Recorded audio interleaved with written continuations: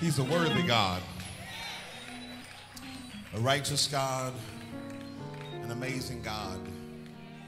Hallelujah. Anybody glad you pressed your way into the house of the Lord this morning?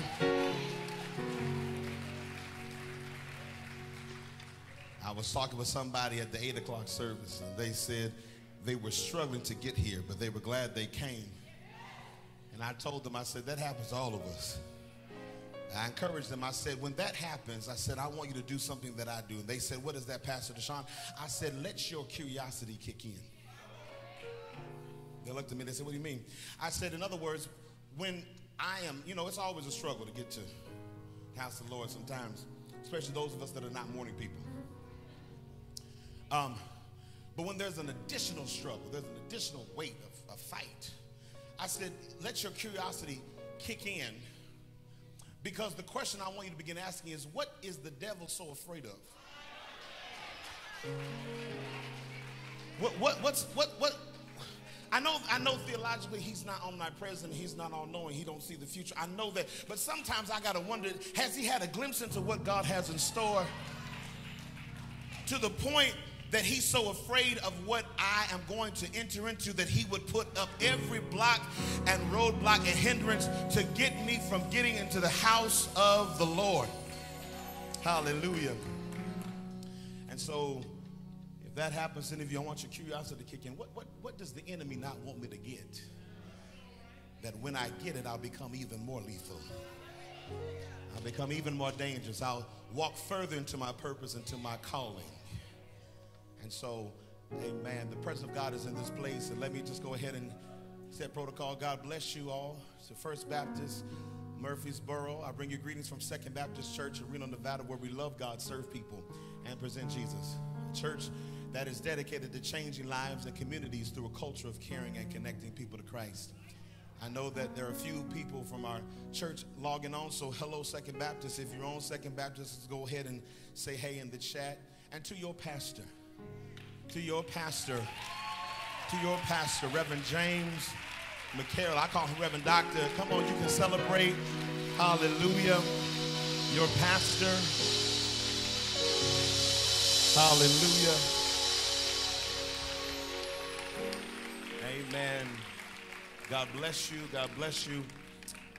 Amen. We've we've known each other for a few years, and I'm grateful that the friendship and the connection that we are developing is not just one of those things that you say at National Baptist. hey, Doc, you know, I'm going to get you over. Okay.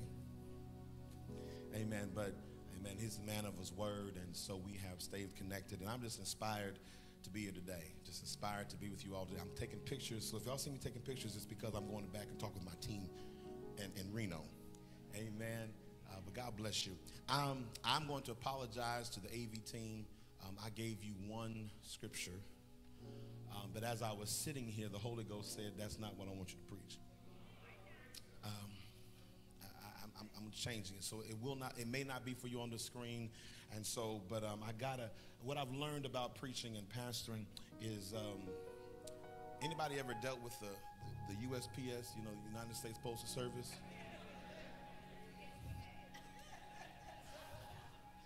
Somebody said, Yes, we have.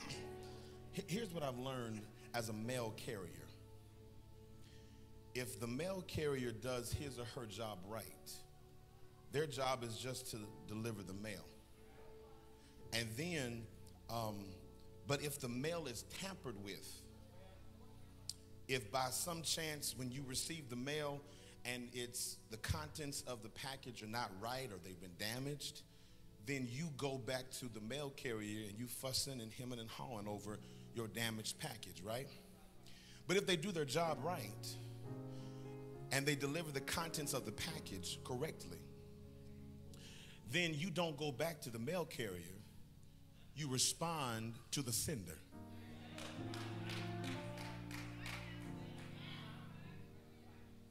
As preachers of the gospel, we're just mail carriers. And at the end of the service, at the end of the message, if we've messed with it, y'all coming to talk to us. But if we delivered it correctly, then you'll go to the sender. My job today is to help point you to the sender. And so God has sent a word in this place. And we're going to 2 Kings chapter 5. 2 Kings chapter 5. To all of the team who who serves to make worship possible, to make ministry possible. We know that it doesn't happen by one person. Thank you so much for your service. And I'm a musician at heart, so y'all just set me up. I had to remember I'm here to preach today. Second Kings chapter 5. And I've got a bit of reading to do because I want to I want to read so that you have context. So when we get to going, you'll understand.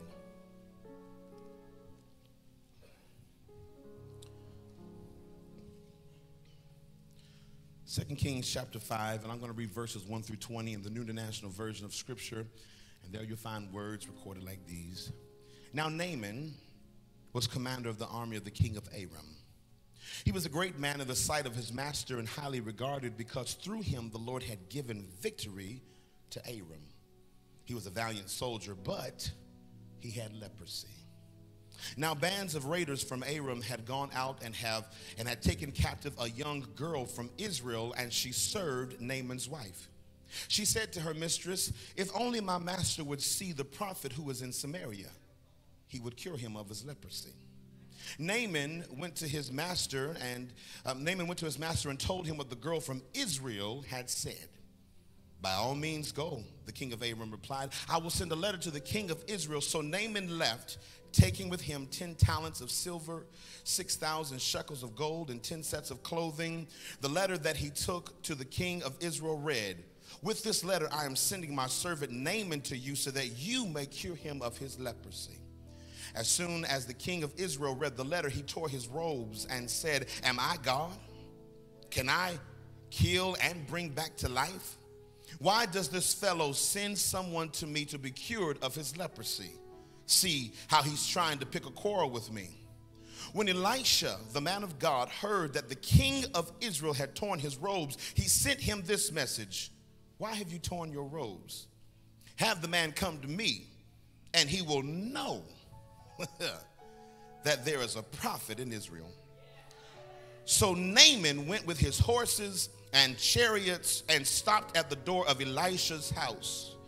Elisha sent a messenger to him to say to him, Go, wash yourself seven times in the Jordan, and your flesh will be restored and you will be cleansed. Listen to what Naaman did. But Naaman went away angry and said, I thought that he would surely come out and give me, come out to me and stand and call on the name of the Lord his God, wave his hand over the spot and cure me of my leprosy. Are not Abana and Pharpar, the rivers of Damascus, better than all the waters of Israel? Couldn't wash in them and be cleansed? So he turned off and went into a rage. Naaman's servants went to him and said, This is what I like about them. You can't have all yes people around you. Naaman's servants went to him and said, My father, if the prophet had told you to do some great thing, would you not have done it? How much more then when he tells you, Wash and be cleansed? So he went down and dipped himself in the Jordan seven times, as the man of God had told him, and his flesh was restored and became clean like that of a young boy. Verse 15, we're almost done. Then Naaman and all his attendants went back to the man of God. He stood before him and said, Now I know that there is no God in all the world except in Israel. So please accept a gift from your servant. The prophet answered, As surely as the Lord lives, whom I serve, I will not accept a thing. And even though Naaman urged him, he refused. If you will not, said Naaman, please let your servant be given as much earth or dirt as a pair of mules can carry, for your servant will never make again burnt offerings and sacrifices to any other God but the Lord. But may the Lord forgive your servant for this one thing. When my master enters the temple of Rimmon to bow down, and he is leaning on my arm, and I have to bow there also. When I bow down in the temple of Rimmon, may the Lord forgive your servant for this. Verse 19 Go in peace, Elisha said. God has entitled this word dirty faith. Dirty faith. Look at somebody and say, Dirty Faith, you may have your seats.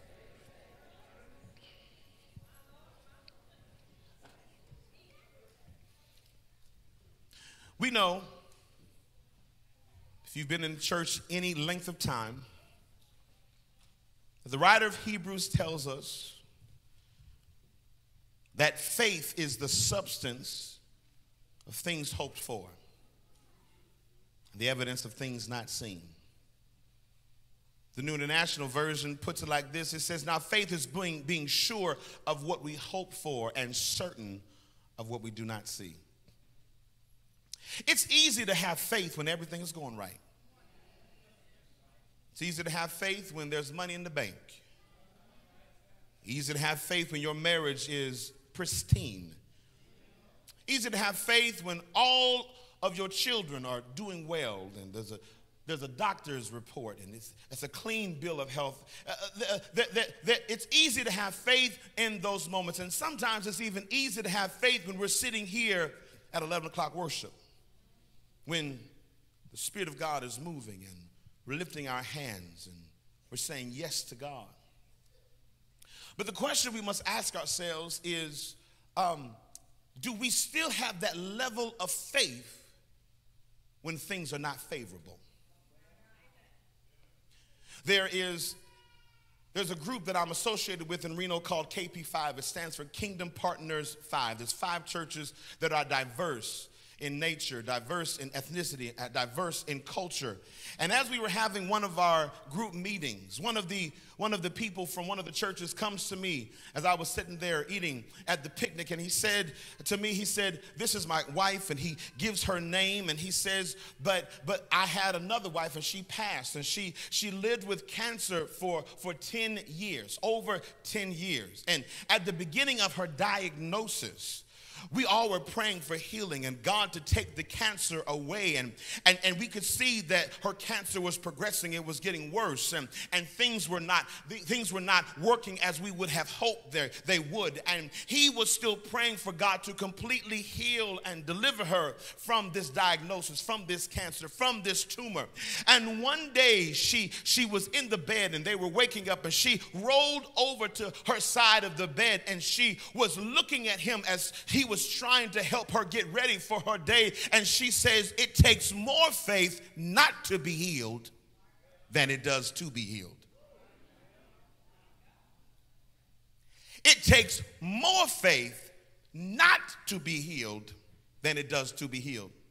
In other words, what she was saying, it's been well over five years at this point, and God has not healed me of this cancer. She said, I could have left him a long time ago. I could have left him 60 months ago when I got the initial diagnosis. But what I have learned is even though the cancer has not dried up, even though I'm still dealing with it, the praise is that the, the praise that I have is I'm not gone. the praise that I have, the worship that I have, is God has somehow sustained me beyond what the doctors originally gave me. And that's what I want to tell you today that sometimes God moves us into areas of faith that challenge us, that, that move us outside of our comfort zone. This morning, I preached about God being the ultimate creative. I preached about the divine design and how God is, is challenging this church to move into a place that will literally turn Murfreesboro upside down and be a light and a beacon for Him. But can I tell you that in order to do this, First Baptist, you got to sometimes have dirty faith dirty faith. And this is where we find ourselves in today's text that Naaman had to have dirty faith. And let me talk about the fact of the matter that here, here's my first point that it's hard sometimes to have dirty faith when you have one public greatness. Look at the text. The Bible says that he was the commander of the army of the king of Aram. The text tells us that he was a great man in the sight of his master. The text also says that he was highly regarded, he was a valiant soldier. He was all of these things. He was great in other people's eyes, y'all. But how many know that sometimes, even though we have public greatness, point number two, we also have private grief? He was a valiant soldier, but he had leprosy. He was great in the eyes of his army, but he had leprosy. He was great in the eyes of the king of Aram, but he had leprosy. He was great because God used Naaman to bring military victory to Aram against Israel. And the question I have is why would God use Naaman to bring victory to Aram when they're Israel's enemy? I'm glad you asked. But put a pin in there, I'm gonna come back and get you. Because let me go ahead and add this that sometimes doesn't it seem when you're trying to do the right thing for God that your enemies are prospering when you over here doing the right thing? I'm coming to Sunday school. I'm coming to Bible study. I'm coming to worship. I'd impressed my way. I'd given up my all my other ways. And it seems like those people who have no regard for God or the things of God seem to be doing better than those of us that are trying to do the right thing. We have some private grief. Uh, leprosy, as we know it, is a skin disease that through that through times caused people to lose fingers and toes and eventually limbs. Those dealing with leprosy were typically treated as outcasts because the disease was incurable and believed in some cases to spread through touch. This is why lepers were generally outcasts. In his article, Biblical Leprosy Shedding Light on the Disease That Shuns, Dr. Alan L. Gillen points out that leprosy in the Hebrew text could mean a number of different skin ailments. It may not have been this specific disease, but this word is used to describe any skin condition that was not normal. If, though, however, it was that leprosy that was degenerative, then Naaman is in trouble. And Naaman is in trouble because this condition was not just cosmetic or external, it was internal. And here is why because not only does leprosy cause a loss of limbs, it also damages the nerves to the point where leprosy patients can no longer feel pain. In other words, they do not know if they've damaged themselves because they've lost the ability to sense pain. Dr. Gillen in this article goes further. He states, he said, studying leprosy helps us to see why pain is a valuable gift. A survival mechanism to warn us of danger in this cursed world. Without pain and suffering, we might be like lepers unable to recognize that something is terribly wrong and that we are in need of the healing touch of God. As Dr. Brand said, I cannot think of a greater gift that I could give my leprosy patients than the gift of pain. And that's what I want to stop here and pause for a moment because sometimes many of us are asking God to remove the pain, take the burden away move it. I, I, I can't deal with it. But here we see that when you have leprosy, you automatically go numb. Ah, but is there anybody in here? That says, Pastor DeSean, I'm beginning to see why God sometimes does not remove the pain. Because when I'm in pain, it lets me know that I'm in trouble and that I need someone who is greater than me to come and touch me and heal me. Oh, can I go ahead and give you Bible for this? Uh, it was Paul's pain from the thorn that led him to God. It was Jesus's pain on the cross that led him to cry out for the Father. It was the stomach pain that I had in 1993 that led me to the doctor to find out that I needed my appendix removed. It was the chest pain in 1987 that led my uncle to the doctor to find out that he needed open heart surgery. It was the pain that led my god sister to the hospital to discover that she needed gallbladder surgery. And do I have any biological mothers in the house? It's the pain that will signal you that it's time for your baby to be born. Uh, somebody here I ought to go ahead and say, God, I thank you for the pain. I couldn't thank you yesterday. I was mad at you. I, I, I almost kicked you to the curb. But God, I thank you you for the pain. David says in Psalm 119, 70 and 71, he says, It is good for me that I have been afflicted, that I might learn my thy statutes. The purpose of my pain is it signaled me that I needed help, and that help is found in God through his son, Jesus Christ. Come here, Andraé Crouch. Andraé Crouch said, I thank God for the mountains, and I thank him for the valleys. I thank him for the storms that he's brought me through. Why? Because if I had not had these problems, I would not know that God could solve them. I would not know what faith in his word would do. Through it all, I've learned to trust in Jesus. Through it all, I've learned to depend upon his word. And is there anybody in here that can go ahead and say, through many dangers, toils, and snares, I have already come? Is there 10 people in here, and I'll make 11 that can just go ahead and say, God, thank you for my pain?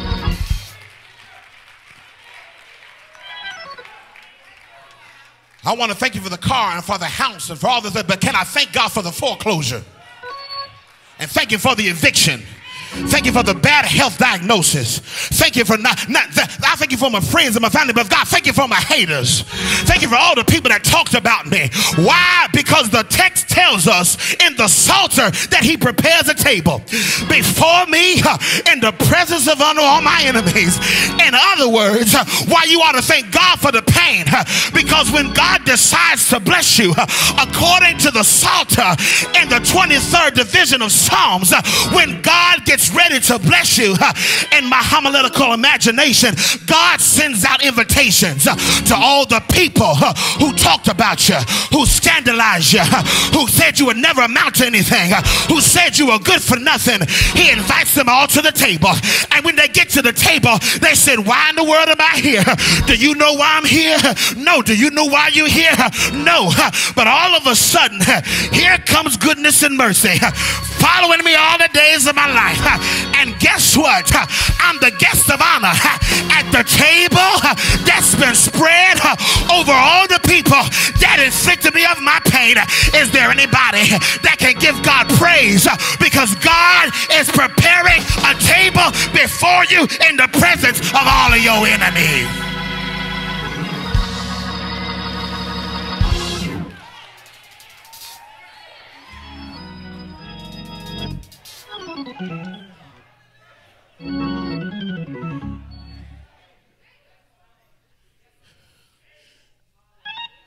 Here's why. Third point.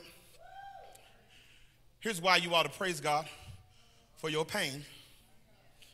Because Naaman's pain led him to 3.3 pursue guidance. He had to pursue guidance. Let me remind you, he had public greatness, private grief. He needs help. The king of Aram sends a letter to the king of Israel that Naaman needs healing. In order to receive his healing, listen to me clearly. In order for Naaman to receive his healing, okay, I'll make sure. In order for Naaman to receive his, uh, he had to leave his environment.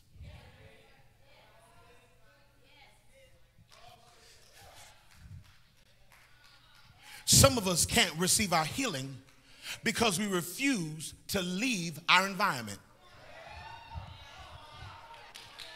And could it be the reason why God says, I cannot heal you is because it's not the fact that you're toxic, it's that the environment is toxic. And if I go ahead and heal you and get you cleaned up, but you're inhaling all of the toxins from the environment, that you keep on getting reinfected. Has God been telling somebody, you got to move away from them people? You got to shut that down. You got to go ahead and give off of Facebook, Twitter, Instagram, TikTok, MySpace. If you still got it, get off of it. God is telling some of of you to move from Nashville to Murfreesboro. God is telling some of you to go ahead and cut off some of those people that you have in your phone. As a matter of fact, don't even put them on block. Just go down to T-Mobile, Sprint, Verizon, Boost, whoever, and just go get a get a brand new number. As a matter of fact, they may not be. Just go get a head a brand new phone because you got too many people still up in there. God says if you want to be healed, sometimes you got to leave where you are and get to where God is trying to heal.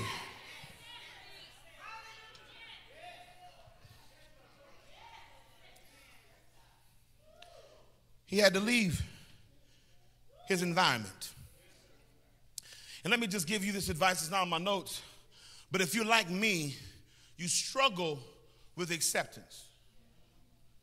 And it's not so much acceptance, Pastor McCarroll, but I struggle sometimes because I want everyone to understand why I'm doing what I'm doing. And the Holy Ghost said to me about a year ago, He said, Why do you keep wasting your energy on people that are never going to understand who you are in the first place? Why are you wasting your energy on trying to say, well, this is why I'm doing this and this and I do this and all kind of and all kind of stuff and all the kind of stuff and do this and do this and do that and do that. And he said the people that supposedly have your back is really uh, uh, having your front is really stabbing you in your back. And when you turn around, they're like, oh, somebody stabbed you in your back. Oh, but you're the one that held the knife. He said, why are you wasting your energy on trying to explain to people who never want to see you succeed? He said, you just got to go and do what I've called you to do without explanation or apology.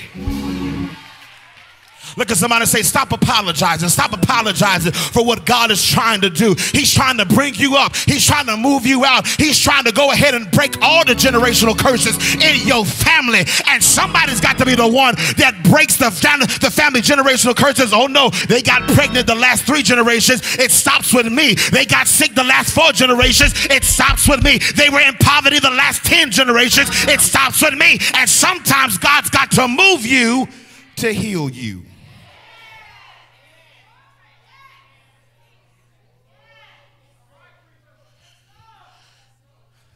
King of Aram sends this letter to the king of Israel. And when he does this, the king of Israel tears his clothes. Elisha hears about it and says, Why'd you do that? Tell him to come to me, and he will know that there's a prophet in Israel. The way that the king reacts, we, he thinks that this is a deliberate attack because remember, Aram had defeated Israel earlier in this whole uh, chronicle. So we can assume through the reading of the text that these two nations were most likely not at peace with each other. Uh, throughout First Kings, the Arameans are indeed Israel's enemy, but sometimes God will flip the switch on your enemies. The Bible says that, that Elisha says, and he will know that there is a prophet in Israel. Uh, uh, in other words, if there's a prophet in Israel, then there is a living God in Israel. In other words, he's not trying to get the big head. He's not trying to say, subscribe to my YouTube page and go ahead and pay your $10 for this holy water that I really got from my faucet and something's going to happen. He said, no, if he knows there's a prophet in Israel, then he knows there's a God in Israel and not some idol, not some stone, not some marble. He knows there's a true and a living God in Israel. How many of you know that sometimes God will flip the switch and make your enemies your footstool? Sometimes God, the people that talked about you the most are the people now coming to you and asking you to pray for them. And now all of a sudden you know why you couldn't cuss them out back then in 2014. Because if you cuss them out back then, when they coming to you now, they wouldn't want to hear your prayer. But God held your tongue back. God held your fist back. God told you to put the phone down because all of a sudden your enemies are the ones that are coming to you for help.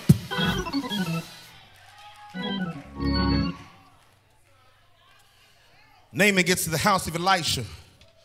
Elisha don't even come out. He sends a messenger. The message is, go and dip in the Jordan seven times and your flesh will be clean and restored. Naaman is upset, y'all. Naaman said, I thought he would have come out and waved his hand over me and called the name on his God. He would have, hey, yada, oh, and all that kind of stuff. I'm, I'm, I'm upset because he didn't call me down to the altar. I'm upset because he didn't call me by my name. I'm, I'm upset because he didn't run down my address and my zip code. I'm upset because he didn't do all of these shenanigans. And let me just say this that I, I, believe in the healing miracles. I believe in prophecy, but sometimes we are in a place where we want more emotionalism than we want God.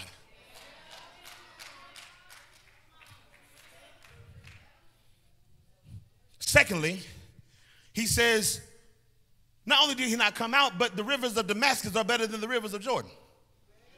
In other words, those, those, those, those rivers of Jordan are nasty. They're dirty. These other ones are cleaner. Why would you send me to the clean rivers? And this is what we have to be careful of. Is sometimes the reason why we can't receive our healing is because we're so busy dictating to God how we should be healed. We can't receive our breakthrough. We can't receive our deliverance. We can't receive uh, we can't receive our promise because we're telling God our prayer is not God make me ready. Our prayer is God do it just like this. We want to dictate to God how he should heal us, how he should free us, how he should move us from one place to the next. No, that's not your job. And here's the reason why I want to suggest that he's saying this is because he's operating in his public greatness still. And here's how you know that because the narrator says that he comes up to the door with his horses and his chariots. Even though he had private grief, he was still coming to be healed in his public greatness.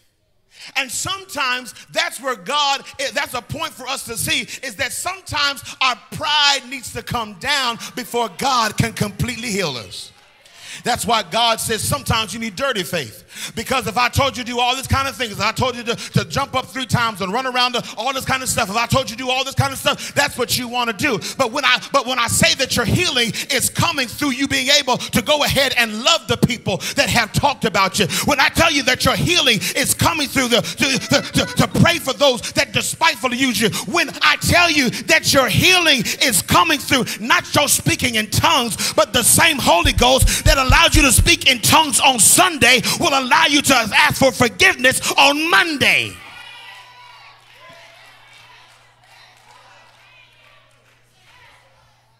Dealing with his pride. So we have to be careful. And this is what I like about his servants. His servant said, Had he asked you to do something great, wouldn't you have done it? But what he asked you to do was simple and humbling. The Bible says that he dips in the Jordan, the, the dirty Jordan, the muddy Jordan. If you go to Jordan right now, and you see how murky it is. You don't want to drink your water from the Jordan. It's dirty, it's nasty. but God sometimes uses dirty things to clean us. He dips. I feel the Holy Ghost. He dips seven times. Seven is the number of completion. I told you this morning that the ending word at nine, at eight o'clock was you're going to have to complete what God has sent you to do. And here we see another level of completion that he had to dip seven times and to complete this thing. And the Bible says that, that he was healed as he did it. And this time he goes back and meets with Elisha and he tries to pay Elisha, but Elisha won't take payment because the purpose of Naaman's visit was to, fourth and final point, was to perceive God. Verse 15, Naaman says, Now I know that there is no other God in the world besides Israel. Naaman has a conversion experience. Uh, David Guzik said it like this. He said, Not only does he believe in Yahweh or God, but he states that there is no other God. David Guzik says it is, is it wasn't just the healing that persuaded Naaman, it was the healing connected to the word of the prophet. This was evident that the God Elisha represented was the true God in all the earth. I told you this morning at 8 o'clock that, that God operates by speech act theory, meaning that his words are his actions. If we came into this building, we say, let there be light, we'd have to go to the back and flip a switch or, light a candle or something. We, we, uh, we would have to have actions that followed our, our, what we said. But God says what he means and he means what he says. When God said, Let there be light in Genesis, he didn't have to go flip a switch because his word did the action. And what I've come to let you know on today is that whatever the word is that God has spoken over your life, you got to go back to the word because the word is set to go forth and to do the very thing it's accomplished to do. Ah, so he has to perceive God. And this brings me back to my question I posed in the introduction. Uh, uh, uh, uh, why would God use Naaman to bring victory to Aram? I know that you've been waiting on the edge of your seats for me to answer this question. Do you want me to answer the question? Uh, why would God use Naaman to bring victory to Aram when Aram was the direct adversary or the direct enemy of Israel? Well, I'm glad that you asked because if God had not given them those victories, then there would have never been, there would never have been an Israelite girl taken captive.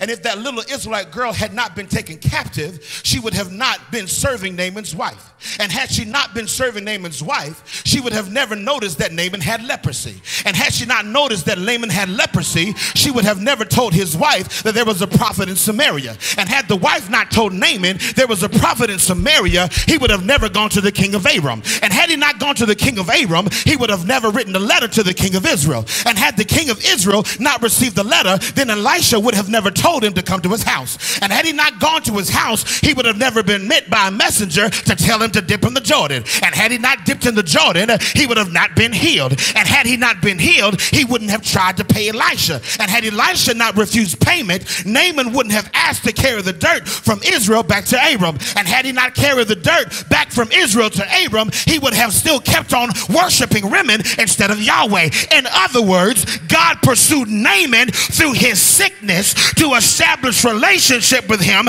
and to let him know that he was not just the God of Israel, he was also the God of Naaman. He was also the God of the universe. He was not just Elisha's God, he was also Naaman's God. And is there anybody in here that can say, I thank God because he pursued me just to love me?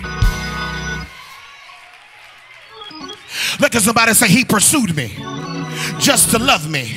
He pursued me when I was in drugs.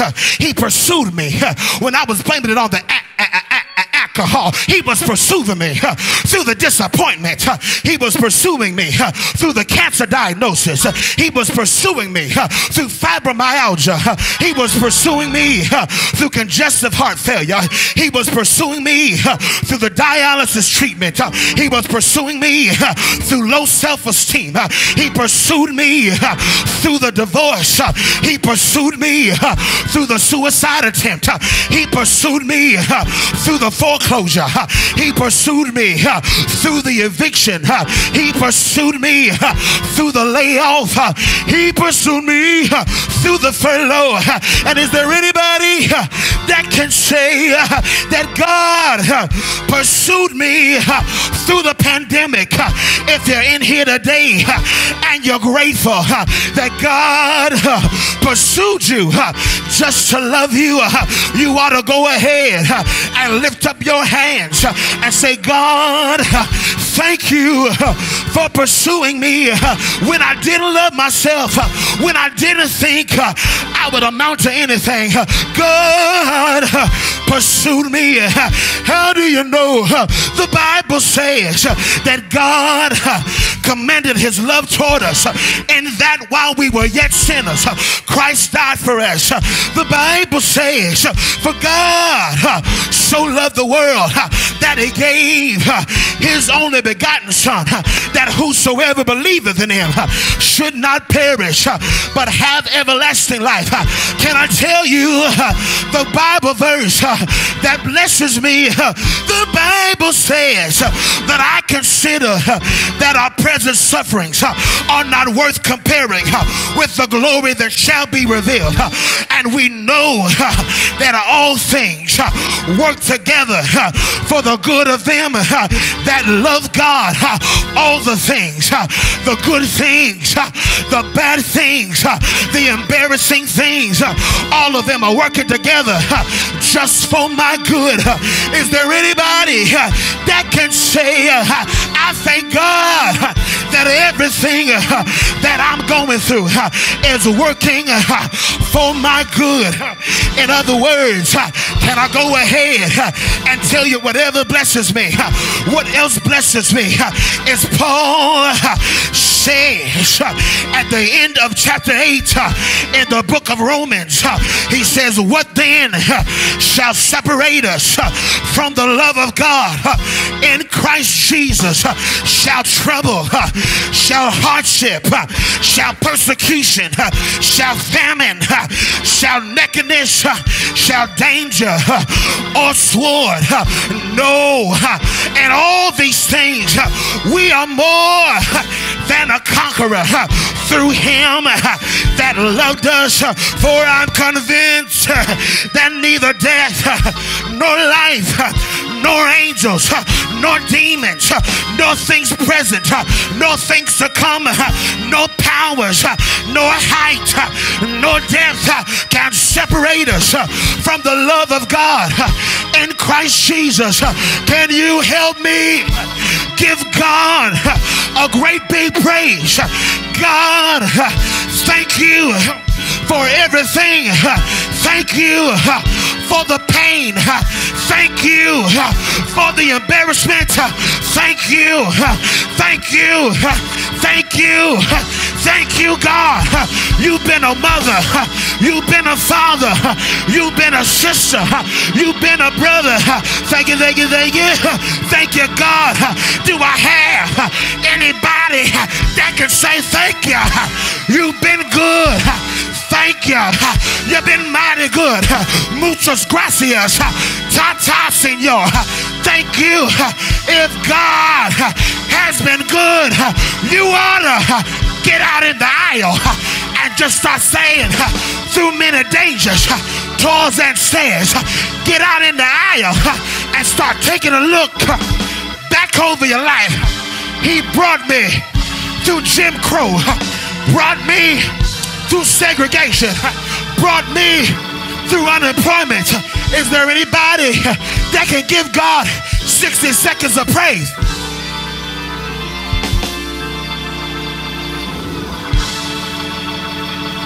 That's good for me. But this is the God that kept you when you didn't want to keep yourself. Come on. Anybody in the balcony, I want to see how real it is. So, musicians, if you got to give God praise, I want you to give God praise. Get off the instruments because it's time for you to give God praise. Is there anybody in the building that has a real praise? I told you stop playing because I want to see something. Because if it's real, you don't need the E flat, you don't need the organ, you don't need the drums, you don't need the bass. All you need is a memory when I think of the goodness of Jesus and all, all, all he's done for me. My soul says hallelujah. Thank you for saving me. When I think, the more I think, the more I think, the more I think, the more I think. Come on.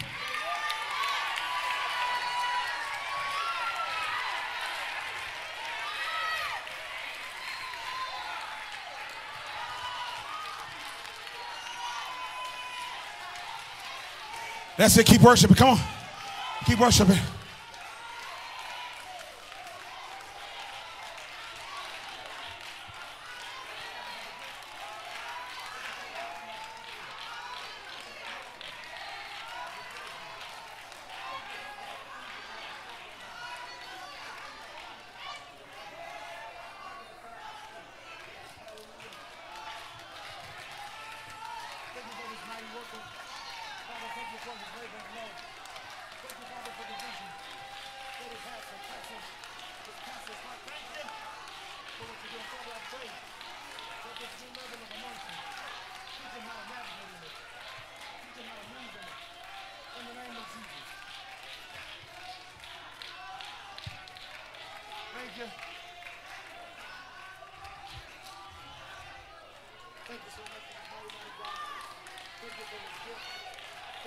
service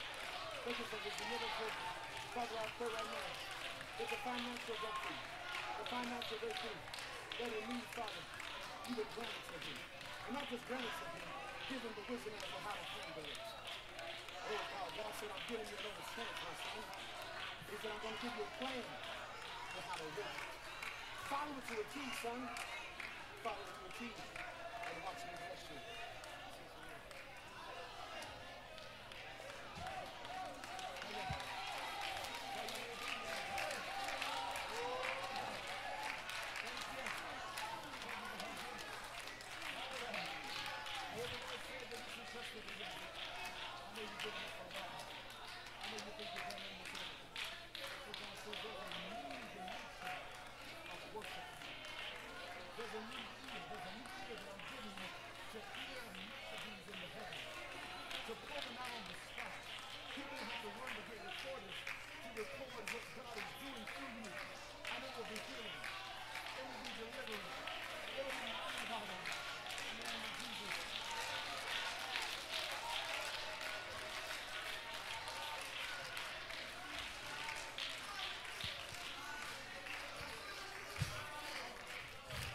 Those of you that need something from the Lord, I want you to make your way up here right now.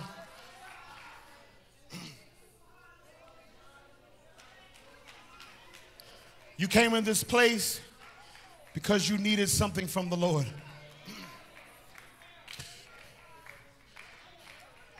Some of you said, I'm frustrated. I, I'm at my wits' end.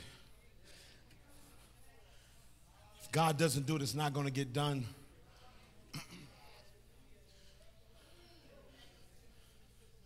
I even rebuke suicidal ideation right now. Those of you that may not know what that is, that's a clinical term. It doesn't mean you're, you're ready to commit suicide, it means that you're contemplating it. I'm not going to ask who that is because I hear it clearly in the spirit. But we rebuke it in the name of Jesus. Let me go ahead and say this that just because you have suicidal ideation and all this, it doesn't mean that God loves you any less. It doesn't mean that you're any less saved. It just means you have real issues. And sometimes we make a permanent decision for a temporary inconvenience. I took a class last year, Crisis and Suicide, that helped reshape my lens in the church. As we were reading through the Psalter, my professor pointed out that there was suicidal ideation in the Psalter.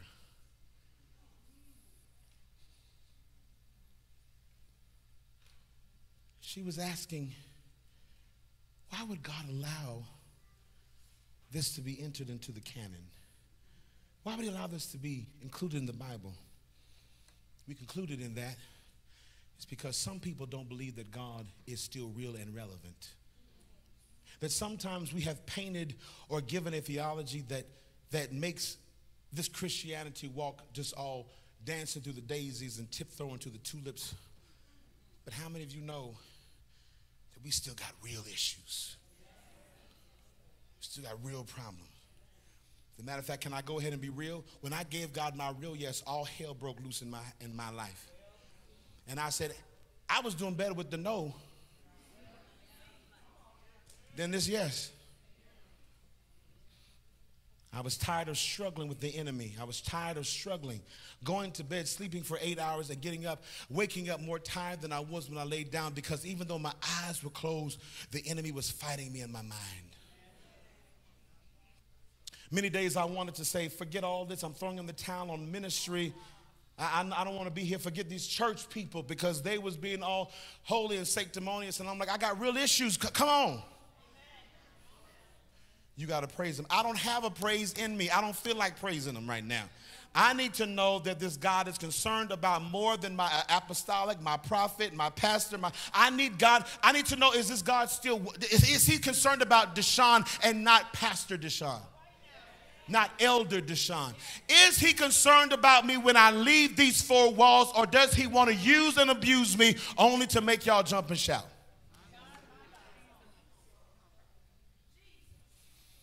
And as I began to read through Scripture, I began to see that He allowed these things to stay in Scripture so that we could see that He's a God that can handle every element of who we are. This is what I love about God.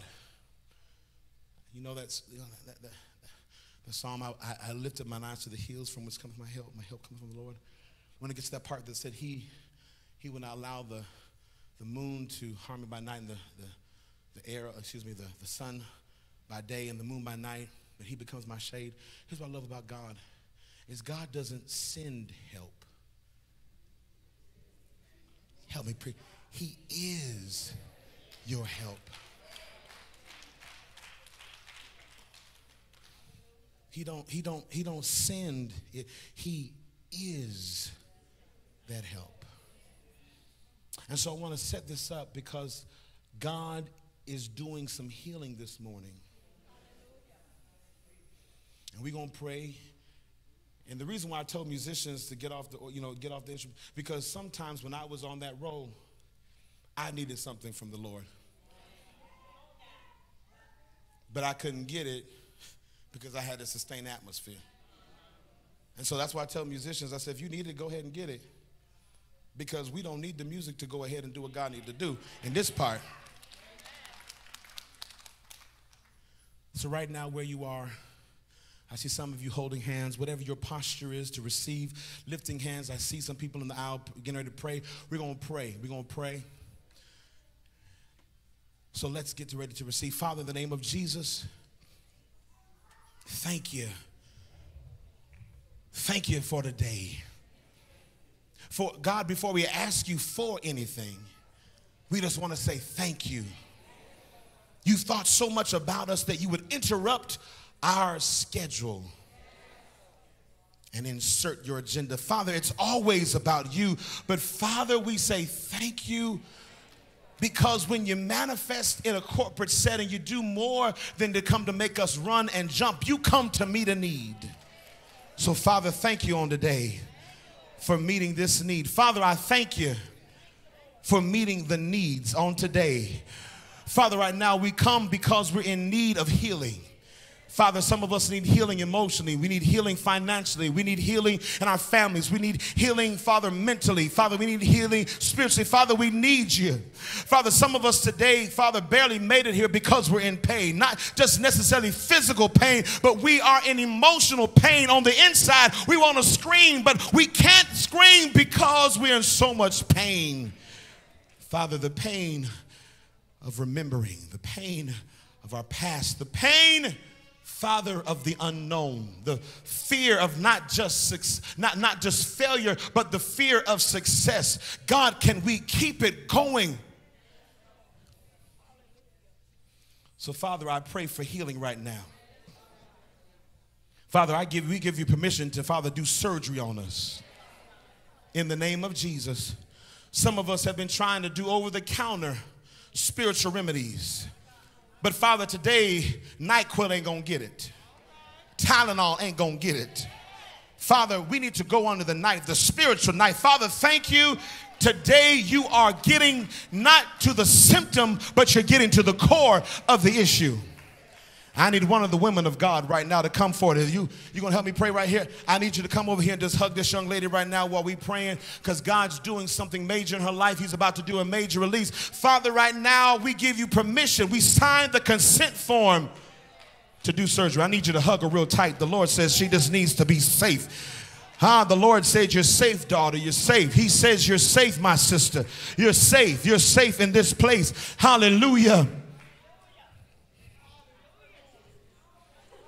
Father, we don't want to go under, we don't want to go into surgery because, God, that means we're out of control.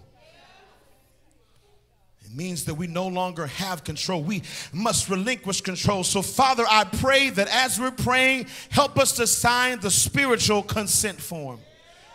We give you permission to do what you need to do, how you needed to do it, when you need. Father, we give you permission because how we've been trying to handle it has not been working.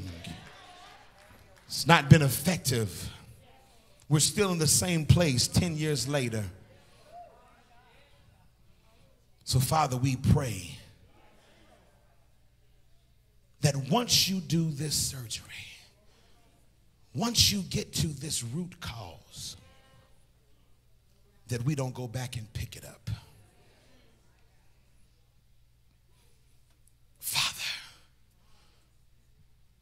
Thank you for the gift of pain that lets us know that we need help,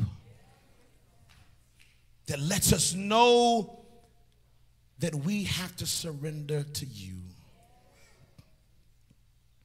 That the scripture is true now unto him who is able to do exceeding abundantly far above all that we ask or think, according to the power that works in us. And so, Father, I pray that once you get to the root cause, you deal with us. Father, don't leave us open. Don't let us bleed to death. Father, thank you because not only are you with us in the surgery, but you're also in the recovery room. And so, Father, I thank you. I thank you for the gift of pain that let me know that I needed help. But I want to say thank you for the gift of pain to let me know that the surgery worked. There's a difference, First Baptist, between the pain of being inflicted and the pain of recovery. And so, Father, I pray, Lord, that as we are recovering, as we're moving into this new place that you have for us, Father, help us, Father, to rejoice in the fact that we are in pain from recovery. And some of us have to be rehabilitated. And Father, as you're rehabilitating us, Father, thank you that you love us so much that you will reteach us how to love. You will reteach us how to walk. You will reteach us how to pray. You will reteach us how to worship. You will reteach us how to forgive. You will reteach us, Father, how to do those things that we took for granted. Father, we say thank you because you will never leave us and you will never forsake us. Father, we say thank you because, yea, though we walk through the valley of the shadow of death, we will fear no evil because you are with us. Father, we say thank you because the Lord is my light and my salvation. Whom shall I fear? The Lord is the strength of my life. Of whom shall I be afraid? We say thank you because, Father, you are good and your mercy endures forever. Father, we say thank you. Thank you, Father, on today. Now, Father, lastly, as we're here at this altar, and those of you that could not make your way to this altar, wherever you are, if you need God to do something, Father, we lay every issue, every weight at this altar. We lay it. We, we willingly give it over to you. You have permission to do with it. And I hear the Holy Ghost say, to do with them as you will. Father, as we close, we want to close with the same way that we opened, and that is with thanksgiving. Thank you. Thank you. Thank you for being so kind that you would that you would ordain this moment to have interaction with you, that you would allow us to interact with you corporately and individually at the same time. Thank you because you're a God that can touch all of us at the same time. Thank you. We give you praise. We give you honor. We give you glory. In Jesus' name, amen. If you believe that prayer, come on and just thank God in this place. Thank Him. He's a worthy God. Can I have one of the mothers of the church hug this young lady right here? Just this young lady right here. The Lord says it's all right. The Lord says today you can breathe again. The Lord says today exhale because I've got this. Can we give the Lord a hand clap of praise, Pastor DeSean?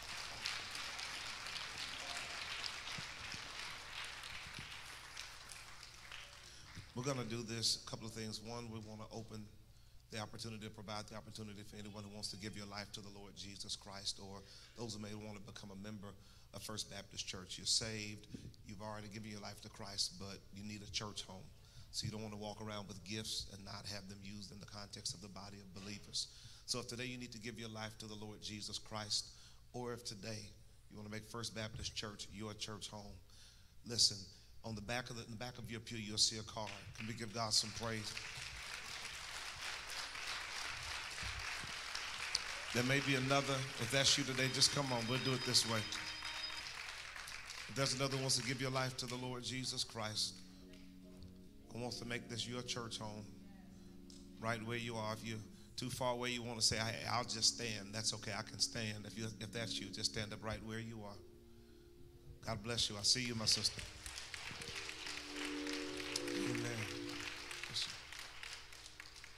For those who don't want to stand on the back of your pew, there's a card that's called a Connect card. You can just scan that little QR code uh, that says Join the FBC family. When you scan that code, fill out the information, they'll come to our team and we'll get back with you immediately. But for those who have given your life to Christ and who become a part of this church family on behalf of the First Baptist Church, we just want to say, Welcome to First Baptist. Can we give God some praise for our new family members? If you'd like to come down now, you can do that. Uh, for those who have come down, you can go to my right and your left. Just get your belongings, bring them with you. Again, can we give God some praise for our new family members? Amen. As they come, we're going to prepare to worship God in our giving. If you've given online, you can just raise your hand. If you want to give via envelope, there's an envelope in the back of your pew. Fill out that information. If you want to put in there, you can put cash, good checks, uh, and money orders. God bless you. But uh, we encourage you to, to fill out that envelope. Uh, the third way you want to give, you can text to give. You can text We Impact to 888 364 GIVE. Uh, and that will allow you to be able to give via your cell phone. It makes it a lot easier for those who may not carry cash um, in this day and time. So if you can give, God bless you. God bless you. So I want to pray for you. If you keep that hand lifted, Father, we thank you for the gifts that are about to be given. Bless the givers according to the principles and promises for giving in the word of God. In the name of Jesus Christ, we ask it all, believing it done. And the people of God said together, Amen. The only thing I want to do now is take a moment and just remind you in your prayer time this week to lift up those families. As you know, uh, 22 years ago, 21 years ago on this day, uh, the, the planes flew into the Twin Towers, and there were a lot of lives that were lost. Soon thereafter, there was a, a military conflict. There were a lot of lives that were lost, and a lot of people's lives have been changed because of 9 11. So I encourage you in your prayer time today to lift up those families who lost loved ones or had loved ones seriously injured or impacted by the 9 11 events. Also, we want to thank God for our military, thank God for our first responders, and thank God for our airline workers who had to endure and work alongside that. So we thank God for that. That's it. If all hearts and minds are clear, let's stand. Let's stand. Tell your neighbor, I'm so glad to worship with you today.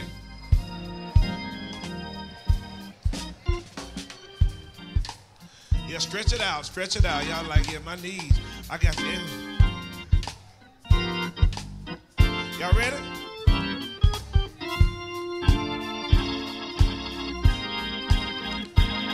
Here we go, First Baptist. May the Lord bless you. Sing it. Lord keep you. Everywhere you go. I pray that you'll be blessed. This time, look at that neighbor. Tell them, may the Lord. Don't leave yet. Won't leave before the prayer. Everywhere you go, I pray that you'll be blessed. One other person, find one other person around you and tell them, may the Lord.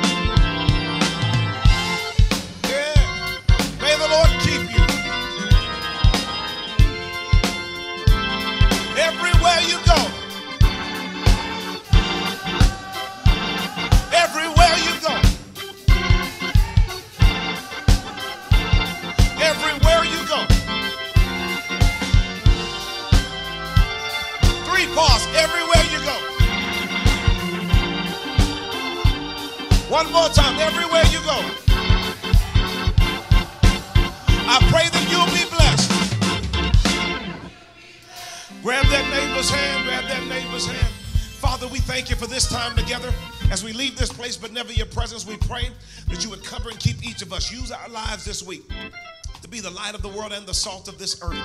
Everywhere you send us this week, we trust that it's not by chance, but it's with intentionality. So, Lord, let us see it as an opportunity to be the church in that space. We thank you in advance for everything you have in store for our lives this week. Use us to the praise of your glory to bring lives to know the truth about the heart of Jesus Christ.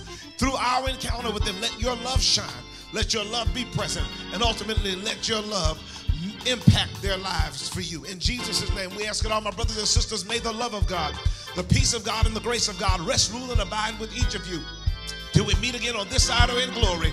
And all who received it, received it by saying amen, amen, and amen. Hug that neighbor, tell them have a wonderful week. God bless you.